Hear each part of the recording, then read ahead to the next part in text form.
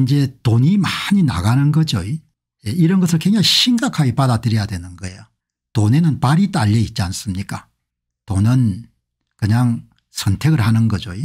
이제 오늘 한 경제지를 보니까 세 번째 많이 읽힌 기사가 이쯤 되면 한국 대탈출 돈도 사람도 기업마저 떠나는 슬픈 뭐 이런 게 있는 겁니다.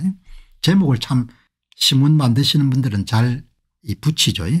이게 무슨 이야기인가 들어보니까 해외 직접 투자가 엄청나게 늘었네요. 6배 차이가 들어온 돈 해외 직접 투자 나간 돈이 6배 많은 겁니다. 역대 거의 사상 최고치네요. 격차가 6배로 벌어진 겁니다. 한국 자료가 아니고 OECD가 발표하는 각 국가 해외 투자 보고서입니다. 상반기에 한국 기업들이 해외에 내보낸 돈이 234억 불 외국인들이 한국에 해외 직접 투자 국내 직접 투자한 것이 39억 불 6배 차이가 난 겁니다. 지난해는 3배였답니다. 이 경제협력개발기구가 발간한 2분기 해외 직접 투자 foreign direct investment FDI 보고서 234불이 나가고 그다음에 39억 불이 들어온 겁니다. 트럼프 행정부가 등장하면 더 심해지겠죠. 나간 돈이 들어온 돈의 6배인 겁니다. 2019년도에 3.6배 2021년에 2020년 사이에 3배 2023년도에 2.2배 돈이 이렇게 여러분들 나가는 겁니다. 굉장히 중요한 지표입니다. 매력이 없는 겁니다 나라가. 직접 투자해야 될 공장 짓고 사람 고용해야 될 국내 투자 환경 악화탄이다. 나라가 여러분들 기본적으로 매력이 없는 겁니다. 한국 여러분들 공장 짓고 할 매력이 없는 겁니다. 한국에 공장 짓고 해서 이런 돈을 남길 자신이 없는 겁니다. 내수시장 이름 쪼그라들지 돌아서면 규제 생기지 이렇게 여러분들 공장 안 지으면 뭐 사람 뽑는 것은 줄어들 수밖에 없으니까 자 여기 보시면은 이 사람들 하는 거 보시기 바랍니다. 여기 이제 이재명표 지역화폐 예산은 3천억 예정돼 있다가 2조로 늘린 겁니다. 그 다음 여기서 아주 중요한 게 지금 제 눈을 끄는 것이 여기 이름 들어간 것이 예, SMR 소형 원자료가 지금 굉장히 각광을 받고 있고 한국이 기술력이 뛰어나지 않습니까 특히 한국은 두산 여러분들 엔지니어 같은 데가 이런 뛰어나니까 예.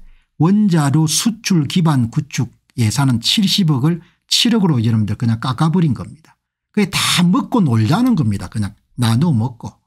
그러니까 이 나라가 제정신들이 아닌 겁니다 지금. 예.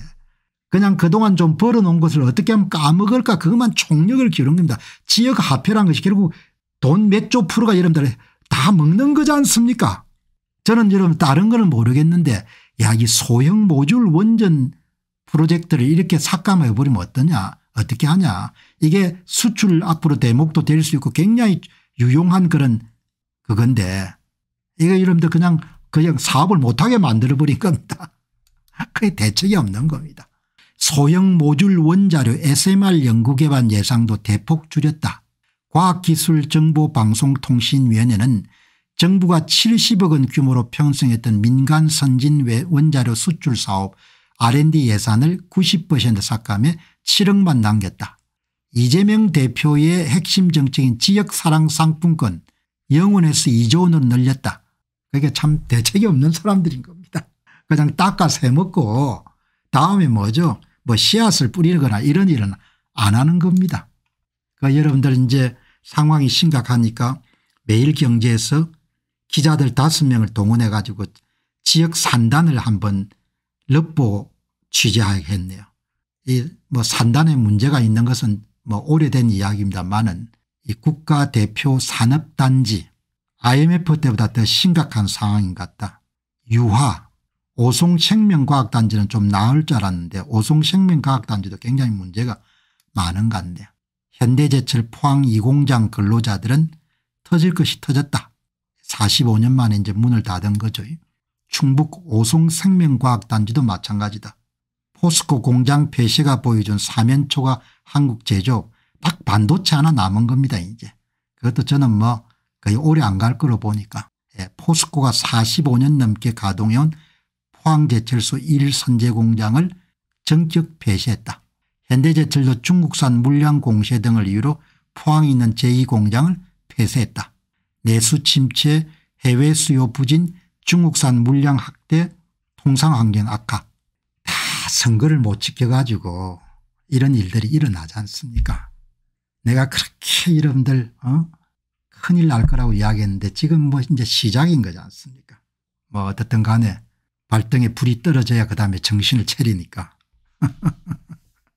자 아무튼 간에 자 여러분 오늘 또 다른 주제 해외 문제 좀 가보도록 그렇게 하겠습니다. 안녕하십니까 공병호입니다. 그동안 공병호TV는 선거 공정성 회복과 자유민주주의 체제의 보존과 발전을 위해 노력해왔습니다. 이런 노력들이 지속될 수 있도록 공병호TV의 전기 후원 프로그램이자 멤버십 프로그램을 소개해드립니다. 뜻 있는 분들의 관심과 동참을 부탁드립니다. 선거 공정성 회복을 위한 노력을 지지하시고 훌륭한 나라 만들기에 동참하시는 시청자분들이시라면 구독 버튼 바로 옆에 있는 가입 버튼을 통해서 정기 후원 프로그램에 가입할 수 있습니다. 가입 버튼을 누르시면 공병호TV의 후원자가 되시게 됩니다. 여러분의 후원이 선거 공정성 회복을 위한 노력에 힘을 더할 수 있을 뿐만 아니라 자유민주주의 체제의 수호를 그리고 발전을 통해 여러분과 후손들의 삶에 빛과 소금이 될 것입니다. 특히 그동안 공병호TV는 선거 공정성 회복을 위한 노력 과정에서 채널 성장에 제약이 가해지는 불이익을 감수해왔고 지금도 그런 불이익이 계속되고 있습니다. 그럼에도 불구하고 너무나 중대한 문제이기 때문에 공병호TV의 노력은 계속될 것입니다. 여러분의 깊은 관심을 부탁드립니다. 감사합니다.